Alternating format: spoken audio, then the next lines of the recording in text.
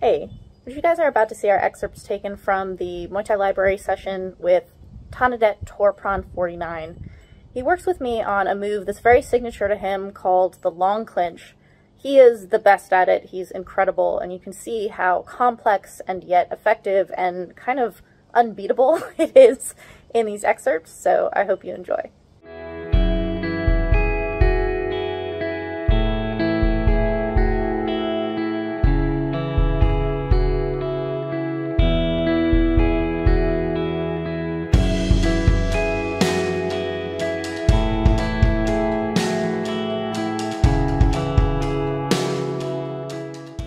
Is a huge part of it. So his head is like connected to my jaw and pushing into my jugular at every second.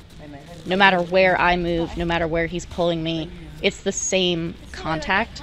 Whereas when I move, my head kind of like pops off of him a little bit. Your arms long is you pinch your shoulders. It's one of the reasons I get tired. Yes, but you feel that if you pull this out, you're not pinching your shoulders. Uh-huh. He pinches them and pulls it in. Yeah. There, I kind of get the position he does with my do arms up by my it ears. Relaxes that shoulder for you, but he doesn't. He pinches. But the head drops down to be like straight between the arms. It's like completely level. Look at that. Look how small that entry is. Yeah.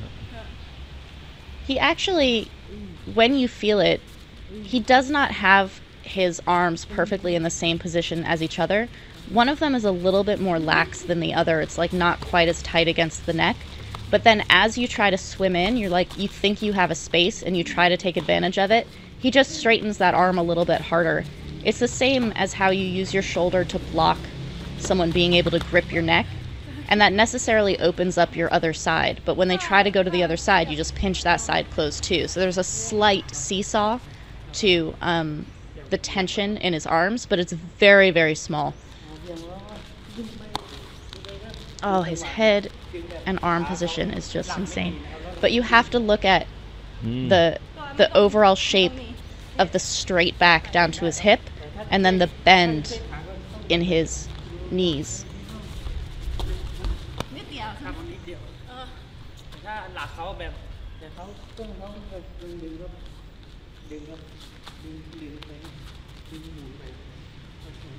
He's talking about trips and turns here.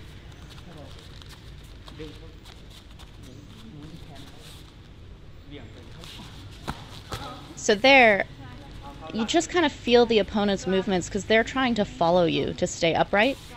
And so you feel when their feet kind of come together, or you feel when they start to lean in a direction, and that's when you whip to turn them down. I was pretty surprised by how much I was moving him because I really wasn't using a lot of power or strength. Um, it's because when I I'm a little bit more familiar with this one, um, so I was I was comfortable getting into it. But when I'm in this position, I do not move as much as he does. So again, it's the I can be static in the position, but when you need to move in the position too, that's what shows you whether your lock is true or not. If it's a true lock, you can move as much as you want and it stays exactly the same, like an alligator's jaws don't move. Whereas when I try to move with this locked position, tiny changes are occurring in the position around his head and it creates little openings for him to get out. Oh, look at him go. And he pulls in these little bursts that totally makes the opponent back, look yeah. like they're just going to fall over. like they're utterly controlled by the movement that he's doing.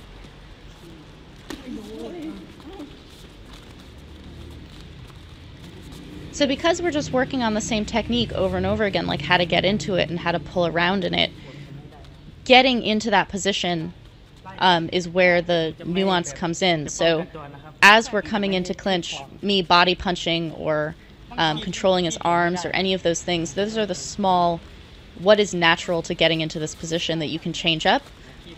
But just getting into it is the part that's hard, is staying in it is the hard part.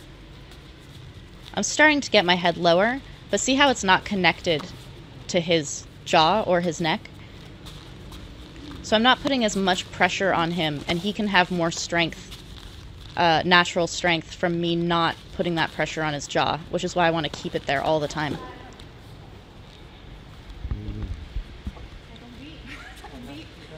I can feel that I'm rushing. When he moves, there's no meaningless movement ever. Like his his feet never take extra steps.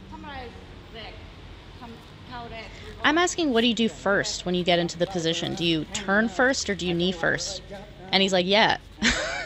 Which means either one, depending on what position you're in when you get there. If the knee is opening, baby. take Lock it. If the knee isn't open yet, you turn first.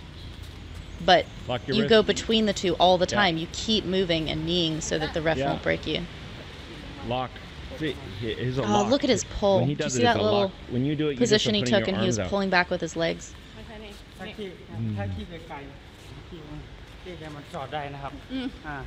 He's like, if you don't keep your head close, the opponent can get under and push it out of the way. But if I keep my head tucked into his jaw, there's nothing he can do. Hey. So what you just saw are excerpts taken out of a full hour entry into the Muay Thai library with Tanadet Torpron 49. And in the entire session, he's working on the long clinch. So you get to see all of the intricacies. You get to really see all the different angles he uses and the pressure points that he puts in. And um, it's very complicated and hard for me to figure out. So you get to see lots of uh, correction and instruction as well. Um, if you are not yet a patron, you can click on the link in the description below and easily become one. And there's more than 167 hours of long form instruction like this.